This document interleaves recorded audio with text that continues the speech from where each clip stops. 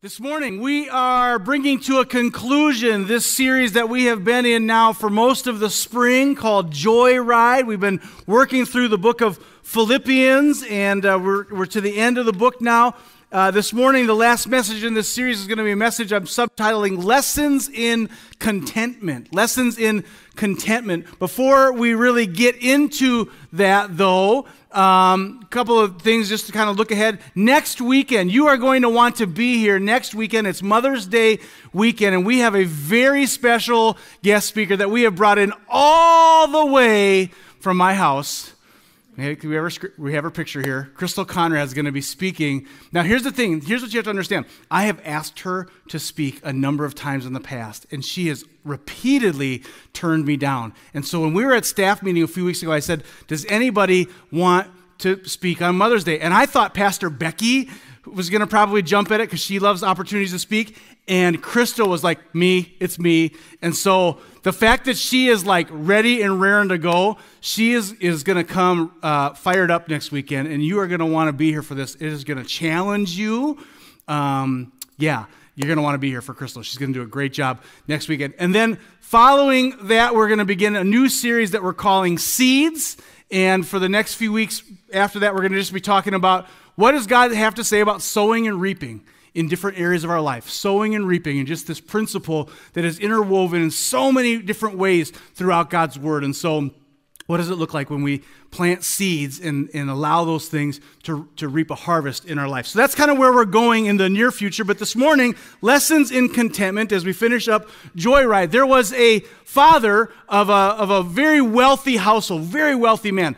And, uh, and he had a son, and he decided one day that his son probably just didn't have quite a healthy uh, understanding of exactly just how good they had it. And so he thought, you know what I'm going to do? I'm going to bring my son, I'm going to take him out to the country, and we're going to go visit a farm a farming family that is, you know, considerably poorer than we are. And hopefully, he's going to get to just through observing the way of life that they have versus the way of life we have, he's going to gain a healthy appreciation for all of the great blessings that we have. And so that's exactly what the father did. He made the arrangements, he took his boy, they went out to the farm, they spent the day out there, and now they're on the return trip home back into the city.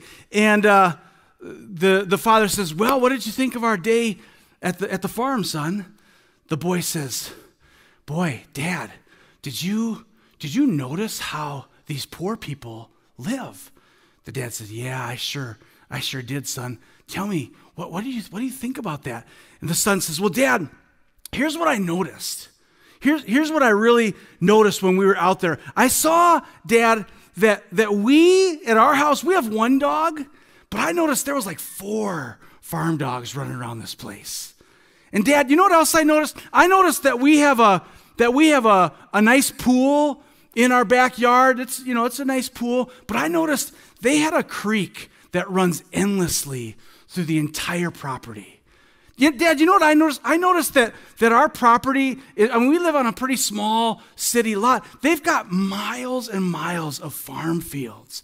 I noticed that our view is blocked by all kinds of buildings in the city. And I noticed as they stood on their front porch, they could see an endless horizon. Dad, you know, I, I noticed that we've got to buy all our food, and it looks like they grow all their food. And so, Dad, I got to tell you, I'm just I'm just so thankful that you brought me out here so that I, so that you could show me just how poor we really are. What an interesting perspective. What an interesting perspective. It's remarkable how some people like this boy can find the positive spin on just about anything right? That they can see any situation and they can and they could find themselves being content or happy with just about any situation. But i think we probably all know some people and maybe in some cases we are the people that doesn't matter how good we have it it doesn't matter how much we have there's a sense of discontent. It's never enough. There's never a sense of fulfillment. There's never a sense of, of happiness. It's like the one preacher i heard he said uh, he said, I really am, I really, really am very content with everything in my life until I start looking around and see all the things I don't have. And then that content goes away very quickly. And discontent wants to move in. And so we're going to spend some time talking about discontent. I would suggest to you that discontent lies at the heart of so many of our struggles in this Christian life. When you and your spouse, first got together, I mean, they were the one for you. Wow, they were such a good looking, beautiful, handsome, attractive individual. I mean, wow, there was nobody else on the planet for you. But now the years have passed. Maybe there's been a few extra pounds that have been added to their frame, maybe a few extra wrinkles that have been added to their complexion. And suddenly, the person we were so content with once upon a time, now there's a sense of discontent, and they're not nearly the same person in our eye that they once were, and our eye begins to lustfully wander out of discontentment. We were completely content, completely happy with our kitchen. Wow, we've got a great kitchen. It's awesome. Until you walked into your friend's house and saw their kitchen. no fair. They have a sink right in their island.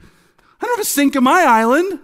This isn't. The next thing you know, what are you doing? You're online scrolling through houses to find one so that you can have a kitchen like your friends do.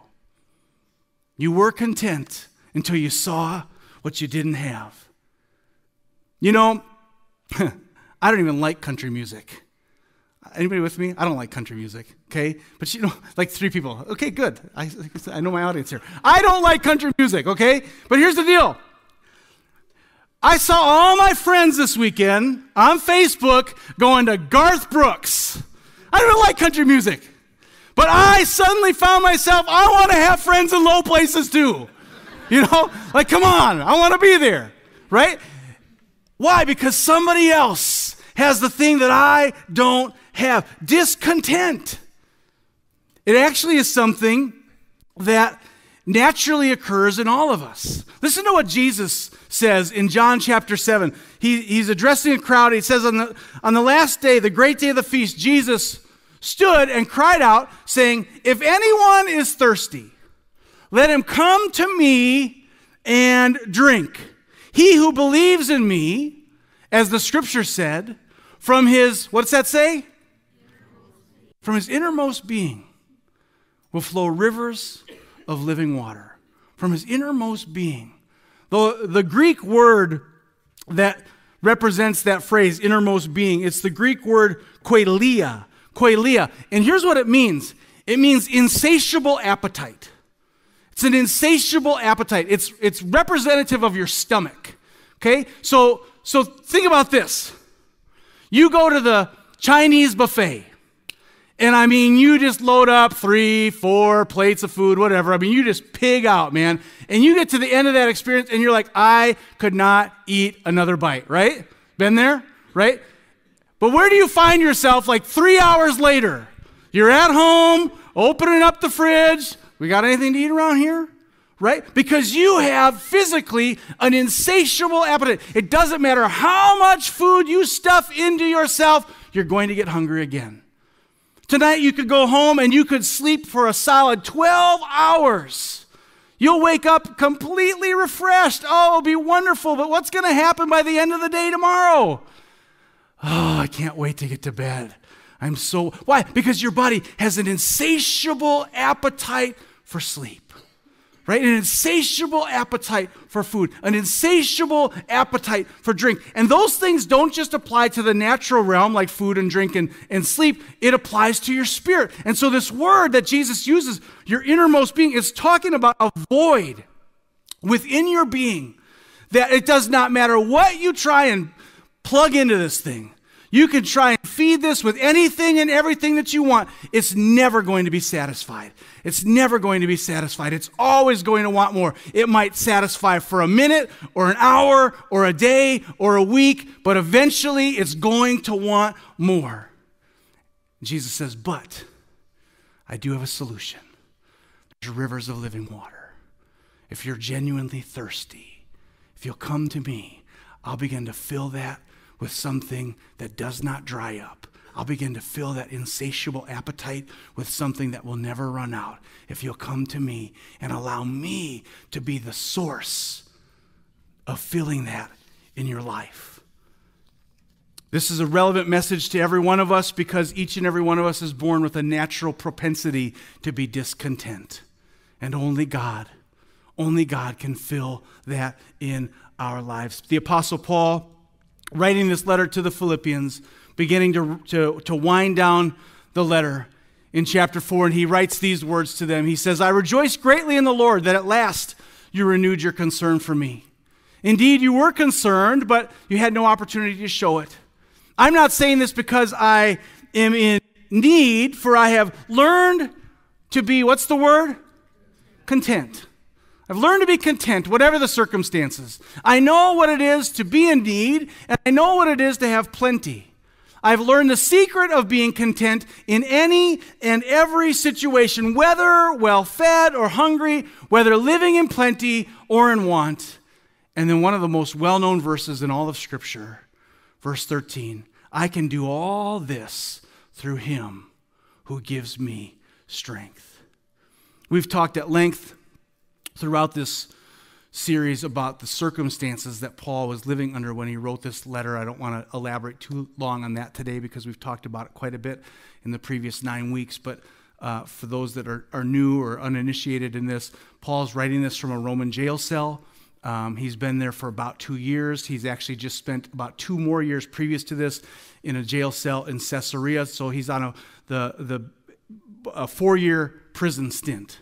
Okay, as he's in this jail cell, really the Bible describes it in Acts 28 more like a rented house. He's in this this this you know house confinement, and he doesn't have. Uh, it's not like they're feeding him the highest quality food. His his rations are meager. They're probably not that good to begin with, and there's not very much of them. His blankets are probably full of holes and and uh, not all that quality. The bedding isn't particularly good. The bed itself isn't particularly comfortable. Um, it's it's not an ideal situation. He's chained to a Roman guard right? Day and night. He's just in the same little room day and night for years right? And so it's not an ideal situation. And he doesn't have any money really other than what the Philippians have sent him. In fact, they've just arrived recently. This guy named Epaphroditus, we see him in chapter 2, shows up with a little gift of money. And, and um, you know, and so, and so that's kind of, if that doesn't happen, Paul doesn't have much. He can't afford to buy more blankets or more food or that kind of stuff. And so his, his situation really isn't all that great. There's, things could be a lot better. He's had to do without a lot of things, right? And yet, in the context of that, what does he, he say? He says, listen, even though I have, there's this lack in my life, I want you to know that you can experience contentment, that you can be content. And he says, I've learned, right? And he uses that word learn. This is why we're calling this this message uh, lessons in contentment because it's, it's a learning process right i've learned what it means to be content he says it twice. He says, at first, I've learned what it means to be content. Then he says, I've learned, uh, the second time, I've learned the secret of being content in any and every situation. And he testifies that, that this contentment is something he's learned regardless of circumstances. He's learned it in seasons of lack and he's learned it in seasons of plenty in his life. And so this morning, here's what I want to do. I'm actually to, going to introduce you this morning, or I should say, reintroduce you to an old friend. You didn't know this was your friend, but you're going to discover really quickly that you actually have had a long standing acquaintance with this friend. Are you ready to meet your friend? Okay, we can put it on the screen. It. This is your friend, It. Not the creepy clown horror movie, It. We don't roll like that around here, okay? Uh, it. What is it? It is the thing that is out there that you have determined in your mind or in your heart if I could grab a hold of it, I know I would be happy. If I could just attain it, if I could just have this experience, if I could only just get to this place in life, then I know without a, a, doubt I'll be fulfilled. I know that I'll be happy. I know that I'll have lasting, uh, lasting contentment in my life. It is simply what I think I need to be whole or happy. And every single one of us goes through phases with it. We've had a long standing relationship with it. We've got some teenagers in the room. Where are my teenagers at? Give me a little, like, come on, there's more than one. Come on, if you're a teenager, give me, oh, you guys are so wimpy. Okay, come on. Yeah, so there's some teenagers here, they're just being shy. Okay, so here's the thing when you're a teenager, you start to think to yourself, if I could just get my driver's license. Oh, I will have arrived when I get my driver's license because now I'm no longer confined to mom and dad having to bring me everywhere. I'm going to have all this freedom, right? And so, as your teenager, one of the versions of it is the driver's license. Like, oh, if I could just reach that, my life is going to be perfect. Okay? But then you discover really quickly maybe that wasn't the case. Then you move into college and you get to the place when you're in college and, and you're working through all those classes and all those tests. And right now, a lot of our college students, they're in like finals mode right now. They're crunching down hard. And they're just thinking, if I can just get through this season, if I could just graduate college and get into the career force, that will be it. Then I will have arrived. Then I'm, I mean, life is beginning for me when I get out there into the career world. If I can just get through this. They get out into the career world. And there across their office is the most lovely or attractive individual they have ever set eyes on. And a romance buds. Young love. Oh, it's wonderful. They fall in love. They're the perfect match made in heaven. And they start thinking, if we could just get married. Oh, when we get married, that's it. Life will have begun when we get married. I mean, I'm just, I cannot wait until, oh, it's going to be perfect. And so they get married and they move into an apartment because that's what young married couples do. They move into an apartment and they're living in that apartment. And for a few days, they're thinking, this is awesome.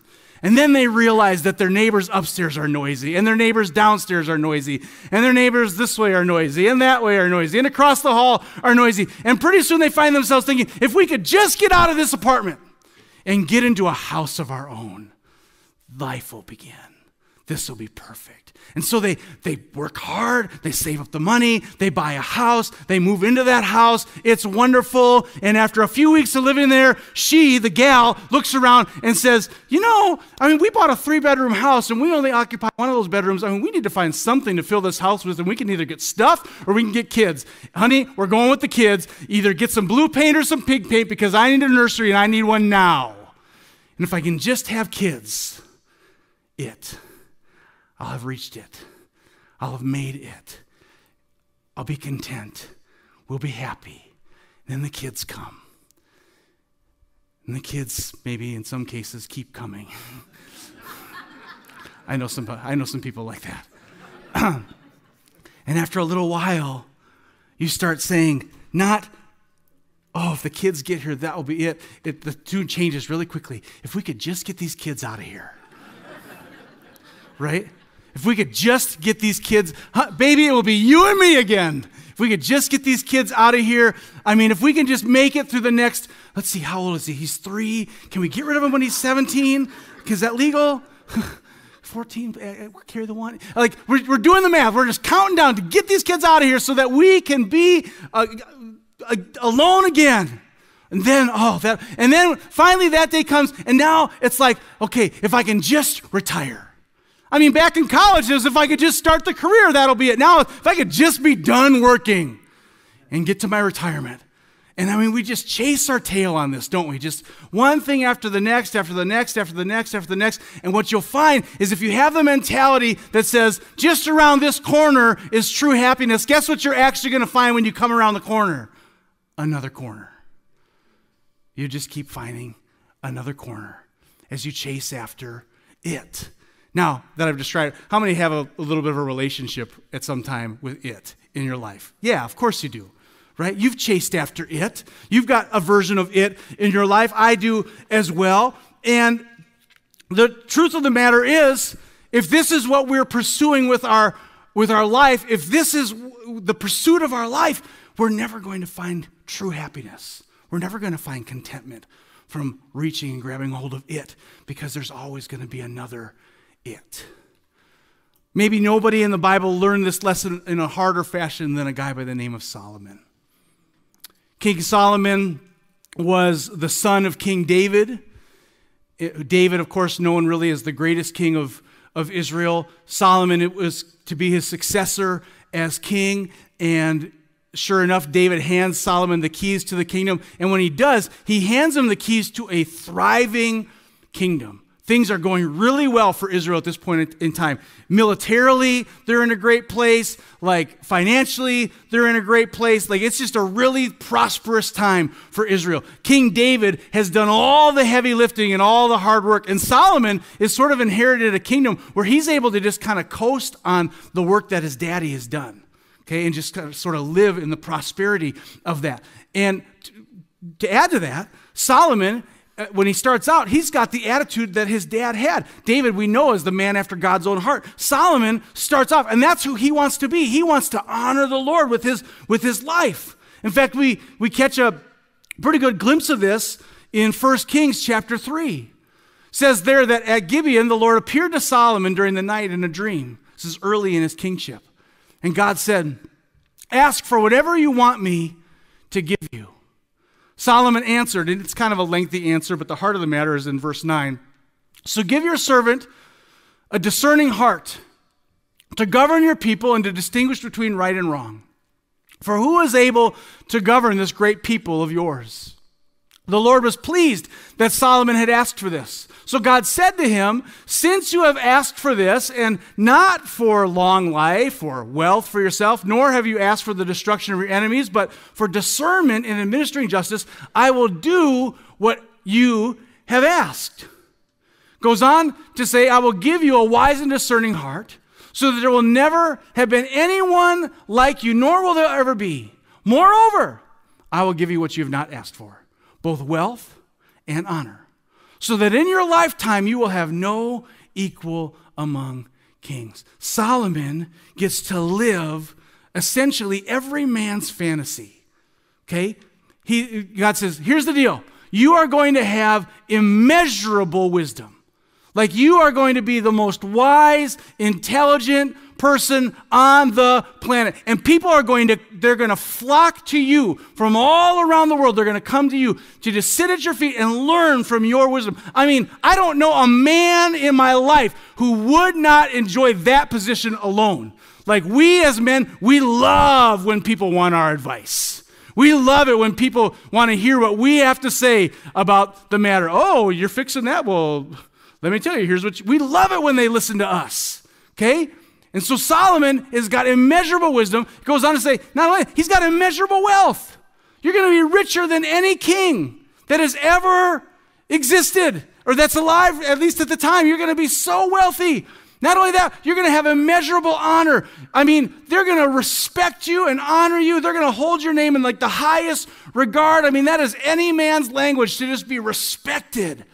Oh my goodness, this is so good for him. And then it's like we know from other portions of scripture, he was like he was withheld from from nothing. And so he had availability to all the choicest food and just all this uh, incredible stuff. He had immeasurable well i guess it's measurable but uh, he had 700 wives and 300 concubines okay? That's close to like immeasurable wives okay? Like this guy had yeah i don't know what you do with that many wives but solomon found something to do okay? It sounds like a messy situation to me. But this guy was living the dream. He was living every man's dream. And yet, he's known as a king of complete and total discontent.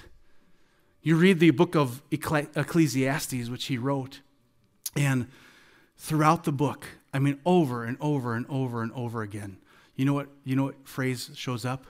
Everything is meaningless everything is meaningless. No matter what I try and stuff into my heart, no matter what I try and find fulfillment with, it's meaningless. It doesn't fulfill me, it doesn't bring me contentment. One such verse, Ecclesiastes 5, just kind of a snapshot of some of the other stuff from the book. Whoever loves money never has enough. Whoever loves wealth is never satisfied with their income. Solomon fi- finds out the hard way that all of the stuff he's given it ends tragically for him. If you know his story, he breaks away from God. He doesn't, doesn't serve God wholeheartedly. He's not remembered as a, as a healthy, good king, but he's, he, he really lives most of his kingship out separated from God. Okay? He misses the mark even though he was given such a great start. He had to learn this the hard way. Solomon came to learn it. Paul understood it. Paul, when he was writing a, a, a different letter to his companion Timothy, 1 Timothy, he writes this to him. He says, Timothy, but godliness with contentment is great gain. For we brought nothing into the world and we can take nothing out of it, but if we have food and clothing, we will be content with that. Those who want to get rich fall into temptation and a trap and into many foolish and harmful desires that plunge people into ruin and destruction. For the love of money is a root of all kinds of evil. Some people eager for money have wandered from the faith and pierced themselves with many griefs. Now, important to note here the Bible never says that money is evil. It never says that having money is evil. It's not evil to be rich or to have a lot. The Bible never says that. But what does it say? The love of money is the root of all kinds of evil. He says, Timothy, let me warn you that if you want to pursue riches, if that's your chief aim and goal in life, if you think pursuing all of this worldly wealth, you think that's going to bring contentment, you're sorely mistaken. Timothy, it's a trap, it's a temptation. It's a snare. You've got to be so careful here, Timothy, because it'll lead you astray. It'll bring destruction to your life. And he goes on here at the end, he says that Christians, they've wandered from the faith and they've pierced themselves with many griefs because they've made the pursuit of riches, worldly riches, to be their chief aim. And so, Timothy, if you insist on pursuit of those discontented longings of your heart, you can expect to have your heart get hurt. That's the message Paul gives to Timothy.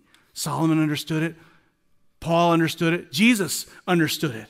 Jesus said these words in Luke 12 Watch out, be on your guard against all kinds of greed. Life does not consist in an abundance of possessions. Jesus says, Watch out, beware. This acquisition of all these possessions, that's not what life is all about. You've got to be so, so, so very careful. The notion that anybody might have that the acquisition of it, grabbing a hold of it, if I think for one second that that is going to somehow bring lasting contentment to my life, I'm gravely mistaken. It's never been true. It never will be true. Grabbing a hold of it, whatever that is, is not going to bring you contentment. There's great danger in thinking that way, and there's great danger in discontentment. But, Paul says, there's great power in learning contentment. See, when I'm content, the good news is when I'm content, I can thrive here and now. Discontentment relies on words like once and just and if and when and someday. Right? Discontentment relies on words like that. If I can just get that, once I achieve that, when I get there, someday I'll get there, if I achieve this, then I'll be happy. Right? There's an if then principle with discontentment, but discontentment can never deliver on that. Contentment, when we learn contentment, it allows us to say, regardless of what's going on in my life right now, I can walk in peace and joy here and now.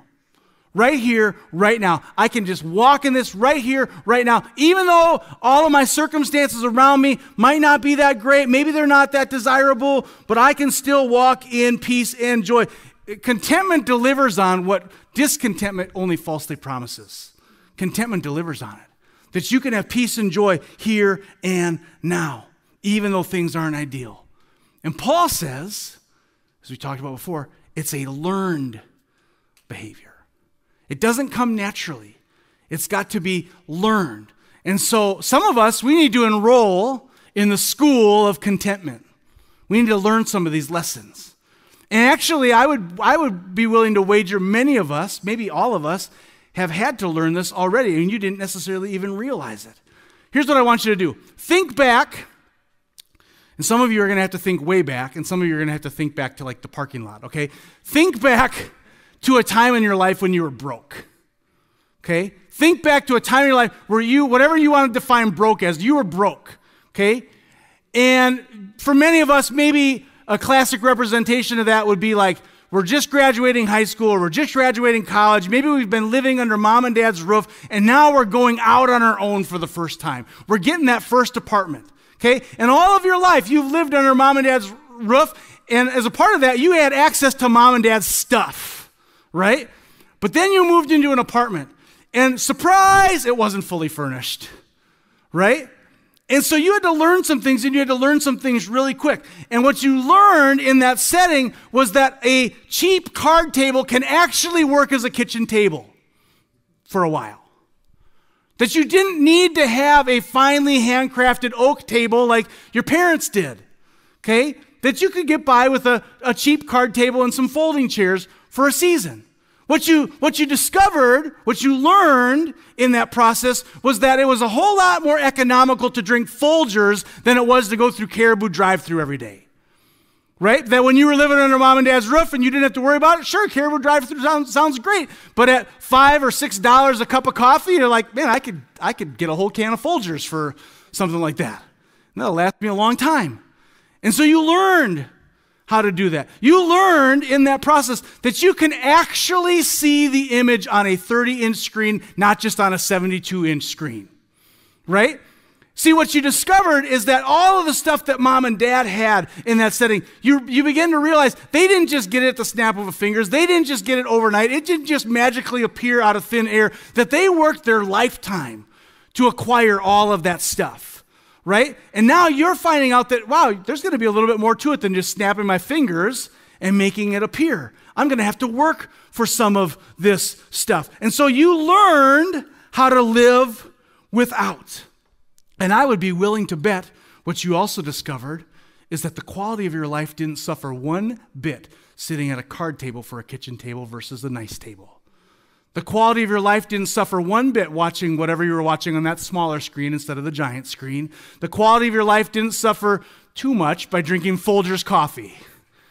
Maybe a little downgrade there. you got by. You learned to be content without. Now, fast forward 10, 20, 30 years, you know, wherever you're at in life. You've got a better job now. You're more established. You're probably not living in that apartment anymore. Maybe you are, but maybe you're not. You probably don't have that card table for a kitchen table anymore. You've upgraded since then. Maybe you've gotten a bigger TV. Maybe you're drinking a little bit uh, more caribou these days. Okay? Like you've, you moved into a different place in life, and you're not in that place of lack anymore where you learn contentment, but now you're in a place of plenty or prosperity. And I would say that, that for many people, it's uh, it's, it's somewhat natural to learn contentment in those, in those seasons of shortage. It's a lot harder for some of us to learn contentment in those seasons of sufficiency. Because now we've got all that stuff, but if you've noticed, your eye still goes towards the stuff you don't have. And now, how can I get a boat? Now, how can I get a new four wheeler? Now, how can I get, you know, whatever it is, right? And our eye begins to drift to these other things. Have we learned contentment both in the seasons of shortage and in the seasons of sufficiency? Some of us need to re enroll in the school of contentment.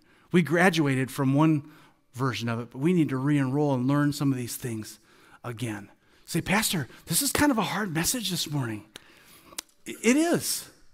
It is a hard message. It is hard, especially I think for our American ears, to hear a message that says that we might actually have to do without some things. Pastor, do you mean to say that following Jesus means that I might have to leave some things behind? Yes.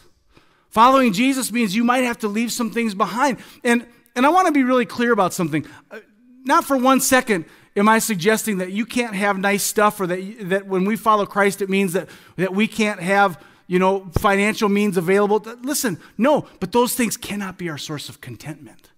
If we're, if we're holding those things up as the way that we're finding fulfillment and contentment and happiness in life, we've missed the mark. And those things may be the very things that, that, that Christ would ask us to leave behind as we continue on the journey. It is hard. It's a hard message. Good news is, it's not just hard for our American ears, this was hard for Paul too. Okay? Paul isn't writing anything that wasn't also hard for him. This is why uh, the, the, that verse that we mentioned briefly before is so important. Verse 13. Paul says, I can do all this through Christ who gives me strength. In other words, hey, this is hard for me. I'm not saying this was easy for me to learn, but praise God, I can do all this, not of my own ability, but through the strength of Christ who gives me strength. Only through Christ's, Christ's strength can you and I walk in a true sense of contentment. He is the answer to that question what can fill our innermost being? It's got to be Christ and His strength and His living water that brings us that sense of satisfaction and contentment in life. In the natural, Paul says, I didn't have the strength to do it, but Christ has given me the strength. Paul would write another letter to a church in a town known as Corinth. He'd write a couple letters there. Second Corinthians is when he writes about a revelation that he's had. And he writes to that church there, he's, Jesus had taught him that my grace is sufficient for you, for my power is made perfect in weakness. Paul, on your own, you're too weak to do it, but don't worry. My grace and my strength are enough. My power is made perfect in those times where you feel too weak to do the things I've called you to do. Here's Paul. He's stuck in this Roman jail cell. He doesn't want to be there. He doesn't want to be there. He could have easily, in that moment, you know, started to have thoughts like, you know, if I could just get out of here, if I could just get unstuck, boy, the world would find that I get, they, I mean, I would be unleashed. Man, I'd get out of this jail cell and I would do such incredible things for God out there. If I could just get out of these confines, I would do great things. He could have taken that attitude, but that's not the attitude we see with Paul. The attitude Paul had was, you know what? As long as I'm here, I'm going to make the most of this here and now. And we know, we talked about this in one of the previous weeks of this series, Paul, one of the things he did is he said, I'm going to, as long as I got to be here, I'm going to reach these Roman soldiers that I'm chained to for Christ. We have strong indication from Scripture that that's exactly what he did. He reached those men with the gospel as he was chained there to them. He said, I'm going to not worry so much about what happens when I get out of here. I'm going to take advantage of the opportunity God's placed in front of me here and now. Even though I feel stuck here, I'm going to choose to bloom right here where I'm planted. I'm going to make the most of this opportunity and not think that somehow, some way out there, that's where contentment lies. And some of us need to grab a hold of this this morning because you know what? Like Paul, some of us feel stuck. You feel stuck in your situation. You feel stuck in your job. You're saying, if I could just get out of this dead end job, I know I could do something better with my life. But it's this stupid dead end job with this dumb boss of mine. I'm stuck here. And if I could just get out, everything would be better. Some of you have even looked at your own marriage and you said, I'm stuck in this bad marriage. And if I could just get out of this marriage, I know out there is the perfect one for me there's somebody out there. I could, I, if I could just leave this one behind, I could grab a hold of somebody else and we would be a match made in heaven. Some of you, I joked earlier about the kids, but some of you legitimately, you find yourself, you're like, you're in, in stay at home mom or stay at home parent mode, stay at home dad mode, and you're, you're the person, you're saying, like, like, seriously, how can I do anything with my life? when all I do every day is make peanut butter and jelly and wipe snotty noses and clean ketchup stains out of shirts and clean up puke in beds. Guess what I did this weekend? Yeah, it's a little snapshot. You know, I mean, TMI, too bad. You know, like, how can I really make anything of my life with these kids here? If I could just, you know what? They don't need to move out of the house. How about if we just get to age six and we can send them to school? And then I'll be able to do something. Then I'll be able to make my life matter. literally, there's some I've talked to that their response has been if I could just get unstuck from this city, if I could get out of St. Cloud, I could get out of central Minnesota, I could do something better somewhere out there, but I can't do those things as long as I'm here. But my question for you, or rather, let me make this comment. Here's, here's the, the trouble. You know who goes with you wherever you move to? You. You know who you know who goes to the next marriage with you? You. You think that you can't work it out in this marriage and it's going to be better in the next one? No, no, no. You you're part of the package. You think that you can't work it out in this city, but it's somehow going to be better if you move to another city or another state? No, you come with the package. You think that that somehow you know that, that, that these children are holding you back? Listen, you're missing you're missing it. You're missing it. You've got an opportunity. In six years, you're going to send them off to school, and then everybody else is going to be trying to influence them as well. You've been granted a window of time. What if God wants to use you in this five or six year window to say, man, I'm going to invest everything I can in these kids' life now? Well, I've got them 24 7 because in a few years they're off, and then friends and teachers and who knows who else is impacting my kid's life. I've got a window of time. I know I feel stuck sometimes, but I'm going to make the most of it. I know I feel stuck in the city, but what if God wants to use me to change it? I know I feel stuck in this relationship, but what if instead of just casting it off for a better one, I started to work on this one? I know I feel stuck in this job, but what if there's somebody here that God wants to use me to reach another another coworker or a regular client that comes through our doors and God's placed me here to reach that person? I'm not saying that you shouldn't have dreams that you aspire towards and that you shouldn't pursue a better version of yourself and that you shouldn't look towards things and say, "Boy, it would would really be nice to have that, and so I'm going to work on I'm not saying any of that. I'm saying those things can't be your source of contentment. They can't be your source of, of life. And if they are, you've missed, you've missed the mark sorely. As the musicians come this morning, what if you let Christ teach you contentment? Some of us need to re enroll this morning in the school of contentment. And maybe there's been phases where you've had to learn some of those lessons, but maybe you're able to evaluate your life and say, you know, the truth is, is I'm, I'm, I'm pretty discontent with where I'm at right now. I'm pretty discontent, but I'm getting the sense that God may want to use me here and now. He may want joy and peace for my life here and now, not just someday, not just once or when or whenever I acquire it. And the promise that Paul gives, it's the last meaningful verse he writes in Philippians before he gets to the part of the letter where he's saying goodbye and all the, you know, this person says hi and that person says hi. The last verse of substance.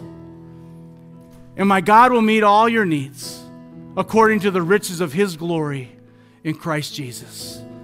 Paul says, here's the promise God has promised to provide for all your needs. It doesn't mean he's going to provide for all your wants. Doesn't mean He's going to give you everything on your bucket list. He's going to provide for your needs according to His riches and glory. If you'll learn to set your eyes on Him and have Him be the goal, Him be the prize, pursue Him in a relationship with Him, allow Him to fill that insatiable appetite with His living water. Every head bowed, every eye closed this morning. Very quickly, you'd say, Pastor, by my own admission, I'm going to raise my hand and admit this. Right now, I am in, I find myself in a season of discontent. I find myself in a season of pursuing it, whatever it might be to you. Would you just raise a hand? You say, this was, this was a message I needed to hear this morning. Hands going up all across this room, all across this room. And so, Lord, right now, Father, we just first acknowledge, God, that we have once again allow discontentment to slip into our hearts. Whatever that's looked like for each person in this room, God, we've allowed it to slip into our hearts. We've grown discontent with our station in life, discontent with the possessions we have, discontent with a relationship. God, discontent in some way. And God, uh, we come to you first in just in repentance and acknowledgement. God, repentance that we have somehow bought into the lie that if we just acquire it, that that'll somehow fulfill us. God, in some cases, we've even propped up it as an idol before you. It has taken precedence over our relationship with you. It has become more important to us than you are. And so, God, we repent of these things. And God, we are challenged this morning by Paul's words about contentment. And God, we recognize it's not a natural occurrence, but Father, it's a learned experience. And so, God, right now, by raising our hands, really what we're saying is, Lord, we're willing to re enroll. God, in, in, in the lessons you want to teach us. We want to re enroll in this school of contentment. God, show us again what it means to have peace and joy here and now, not just once and when. God, fill our hearts with that living water afresh and anew. God, that living water, God, that we thirst for and we long for. Father, forgive us for trying to shove in and stuff in all these other things to somehow meet that need. God, when the answer is so plain and it's so clear. Come to me, all who are thirsty, and I will give you living water that will flow from your innermost, innermost being. God, that's what we're hungry for. That's what we're longing for today. And so, God, I just pray that you even right now begin to do that. God, begin to, to, to just give us a greater sense of contentment. And God, now I pray as we head out of this place, God, to our different positions and places in life, God, help each and every one of us this week, God, to not just wait for once and when, but God, to choose to thrive here and now. God, to make the most of our situation, no matter the circumstances we're living under. God, we love you. I pray that you bring these things to pass in each one of our lives. In Jesus' name, amen. Amen. Praise God. God bless you, church. Thank you so very much for uh, just being so receptive to God's word this morning. I pray that you have an incredible week. Don't forget, Terebinth meal party tomorrow night, uh, parking lot cleanup party Wednesday night. Otherwise, we'll look for you next Sunday. You're going to want to be here. Crystal Conrad's going to bring a word that you're not going to want to miss. It's going to be awesome. God bless you, church. Have an incredible week.